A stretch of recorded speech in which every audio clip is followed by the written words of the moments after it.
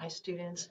I want to talk to us, talk to you today about our first major essay. You know, you had a diagnostic essay, and I've given you feedback on that. Some of you have made some corrections, and we do have a revision um, assignment, which is really about getting it put into an into a Word document and MLA format. Um, but this is our first major essay, which does have to be MLA formatted and in a Word document or PDF. Um, so I want to make sure you know how to do that, and there's points for that with the diagnostic essay and anything I uh, asked you to, to, to um, work on to make better for the, the revision. But the revision is is mostly about, hey, did you watch the videos? And I need to know that you know how to format it in MLA and uh, put it in a document and uh, submit it as an attached file. For all of our major essays, and we have four, and that's a minimum that's required for this to have a college, not only a college course credit, three credit hour composition class, but for it to transfer um, to transfer to another, not just another community college, but to the uh, universities in our state and around.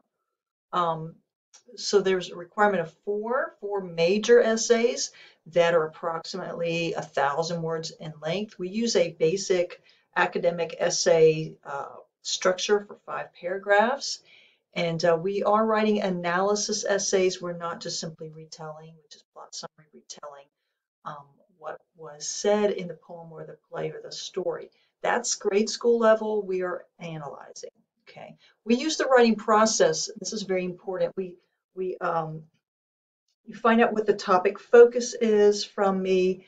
Um, I will give you a basic outline for the organization, like I did with the diagnostic essay. Hey, in the first main body paragraph, this is what you know, frame it up here, and then and I go over it.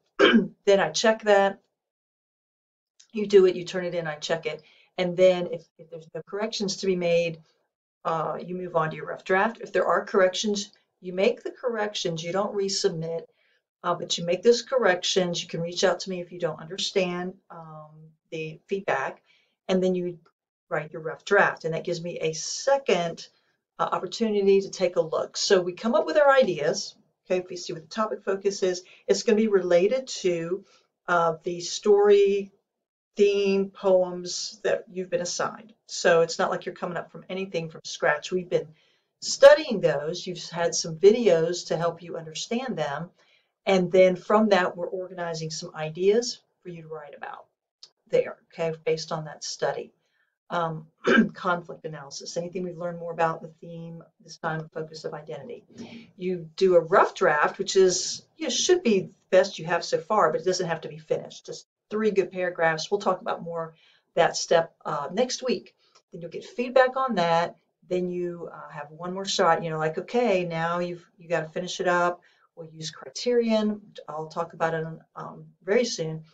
And then you submit for the final major essay grade. Pretty much at that point, final revised draft, which is what like step four or five here in our process that's the that's the finished one. That's the one that gets the big grade that counts so much. And there's really not like redoing of that. I I may out of one out of four, if someone just really missed the boat on it, may give somebody one redo chance on one major essay that they failed. Um, but that's just not. It's by then you should have made all the corrections that you've been uh, advised to make, and that's the one that gets the grade. It's kind of like if you think I I like to use uh, sports analogies you know, once the game clock is ended, there isn't any redoing that game. You learn from it and you take those lessons you learn to the next assignment, the next essay. And that's really how this is set up as a coaching. We, you are working on this in stages and I'm checking in and coaching you on that. Of course, you get points for doing that uh, part of it, just like you get when you come to practice, right? That counts, but it's the game we're getting ready for. All right, here's our description. Essay one. Students are going to write and again, we'll take it in steps, but when we finish, the finished product will be an MLA formatted five paragraph analysis essay, approximately a thousand words in length. And I don't want 1300, I don't want 1500, but you're going to have to have at least 750 words to get a passing grade, okay? Shooting for a thousand, 800, 900, right in there. And we're going to focus on the theme of identity. Now, that's a broad topic, and there's specific ideas and messages and thoughts about identity in each story, each poem, and whatever. Okay, so we had we looked at these stories, um, the story specifically everyday use, uh, the poems that I signed and went over in video, like by Langston Hughes and Ashley Jones, in this folder, and a little snippet, just a little snippet of the end of A Doll's House, that play where Nora is kind of having this moment where she realizes she doesn't really know who she is, uh, and she has to learn learn that. Her identity has been formed by the dominant males in her life, her first her father and then her husband, and it has creates problems. Well, you have to use at least two of the text. You can't just write it about it write about the theme of identity in only one of these, and you can actually use more and you can kind of focus that in. Let me give you a couple ways. Let's take a look at the organization. So this is the main model, but there are some tweak variations. If you want to do more than two selections, you could omit the uh, selection one and you could say, hey, how is the theme of identity identity presented in? And then you're telling me here in the blank, it could be just everyday use. Right? And then the second one could be, well, how's the theme of identity presented in um, particular poem by Ashley Jones, right? You give the title. Identify that. And then I want to know how's that in that body, how is the theme tied to the conflict? Because they are. And I want to make sure you understand how those are connected. But I want to know what that story, poem, play uh, idea concept about identity. If you've watched the videos, you know what I'm what I'm talking about here. If you haven't, you need to go back and watch them um, or watch them again because they have different ways that our, our, identity is formed. For example, in everyday use, how the women in there connected their identity to their heritage, but they formed it in a different way. Or uh, Dee, you know, identified differently um, and saw her heritage differently. She identified more with the new and modern. Um, Maggie and Mama more with their uh, traditions, right? so there's different messages um, brought about by the different authors in the specific works. So if you see something that's similar and you want to I, I uh, talk about the theme of identity tied to the past or tied to the future or tied to something you know specific in there and you want to talk about it in more than one, uh, you can. You could say how is the theme of of um, ethnic identity or gender identity because that's whether you know how it means to be a woman or your female body or national identity or some of these ones presented in, say, Langston Hughes poem I, Too uh, and in, you know, everyday use. If you want to do that, that's fine, but uh, don't make, you know, keep it keep it kind of focused so that you're in that range for the body paragraphs. All right. So we always start with that. We get our what's called our magic three, and I, I I define what I want you to focus on in general, and then you let me know through the outline what you specifically decided on. Okay, the third body paragraph, you'll see this in um, a couple of our things. I want a personal connection. I really want to make sure you are writing this from your own uh, heart, you know, and your own uh, in, uh, connection.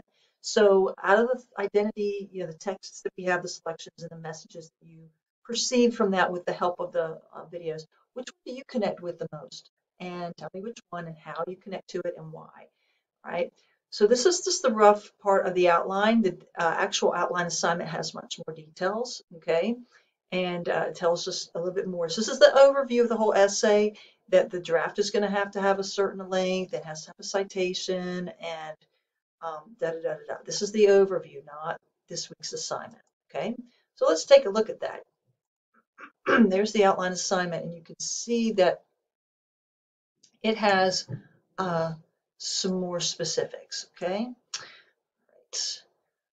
So it gives the overview again, and then it says for your outline, you follow the outline template, but do not write paragraphs. An outline is like a blueprint for the house. It's not the house itself, right? It's just the plan, okay?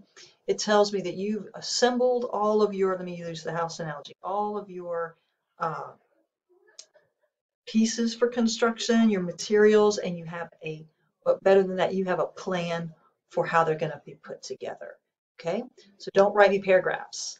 Um, for the introduction, I don't even need to know what your hook is. I just need you to fill in letter B, what selections. And if it's more than two, that's fine too. Uh, the at least the names of the selections that you're going to be writing about in here. We don't need all of them. We need to list at least two. And then a thesis statement. Now, Right now, starting that order, you wouldn't have one. But once you decide what body paragraph one, two, and three are, then you can write a one, this is very important, a thesis statement, not a thesis paragraph, a thesis statement, a one sentence version of those ideas that are in body paragraph one, two, and three. Okay? One, two, and three kind of in, in one sentence. Uh, body paragraph one, fill in the blanks here, do short answer to the question. Um, and again, if it's not selection one, if it's not just one, if you have more than just say the uh, the body paragraph one, uh, Roman numeral two here would be something, it's either going to be the name everyday use, or it's going to be uh, maybe heritage identity, and then you have, you know, two different ones. So there's some flexibility as long as the focus is clear and you follow the directions here, okay? As long as you're following directions, there you're going to get a good grade with some feedback, okay? Some people get don't don't really uh, understand the grading process here. It's like I'm giving you an, an, a, a quick assessment at the end of practice. Good job, uh, keep it up or work on this technique. If your free throw percentage isn't quite where it needs to be, you know, tuck in your elbow a little bit more, work on your stance. If you don't respond, if you only respond to, hey, I did pretty good, and you don't respond to work on your technique, you're not going to show any improvement, and those those uh, areas of deficiency are going to be magnified later. So I, I'm pretty lenient on grading the parts in the process as long as you're following directions. Um, but I'm it's really about uh, making sure you're doing the work and mostly about getting my feedback on what you need to adjust if that's really not a thesis statement, if it's too vague, if you know, um, and how you might tighten that up so that when you continue to work on it, you're headed in the right direction. I have one of the uh, citations here at the bottom for everyday use. Uh, I have, I went ahead and, and put together all the citations for this first one. I'm going to be teaching you how to create those citations um, on your own, but let me show you in case you missed it. All right. You're not going to be able to write this paper too well without plagiarizing if you don't go through here, watch, uh, you know, read these, watch the videos about them, and um, but then go all the way to the bottom. So I have the citations for all of the other ones because I already included everyday use where I just showed you in the outline. And so whichever one you decide to use. Now the, the dashes are because it's Langston Hughes again. If you use him here and not in I, Too, then you need to fill in his name, okay, in place of that same for Ashley Jones uh, right here, okay.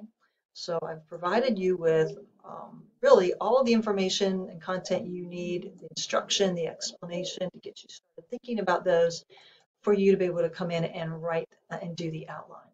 That is due by Wednesday, February 1st for us in uh, 2023 here in the spring. Uh, here's the diagnostic revision. Okay, copy paste your essay into a Microsoft Word document or PDF file, format it following format guidelines. Uh, make sure that you've brought it up, you know, to five paragraphs, at least 500 words. And, and there should be at least two things I've asked you to make better, okay? And then make sure you describe them in the submission box. So uh, in the submission box, you'll see how to do a file. That's what you attach is the file, but you can also type text in there.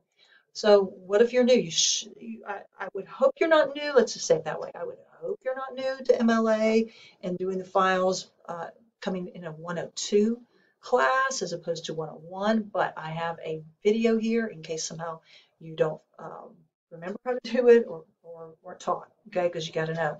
Um, there's a video there. You can, if it doesn't cover the stuff, um, like if you're working with a Mac or something, just Google how to MLA format my document in, um, in a Mac, you know. Uh, there's some information here about how the writing process works if that's new to you, about outlining in general if that's uh, new to you. Um, here's an, here's you know some examples of some how to develop uh, the different pieces and components like an introduction, a body paragraph, and so forth that are there. So those are really just as needed, okay, but you will need them. I had it somewhere in here. Let's see. Last thing, because I'm almost out of time, about the, the documents. Google documents need to be converted to .docx or PDF for submission. All right, that's it for now. Make sure uh, you follow those instructions and I'll take a look and